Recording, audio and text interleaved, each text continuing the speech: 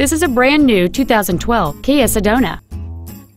It features a six-cylinder engine and an automatic transmission.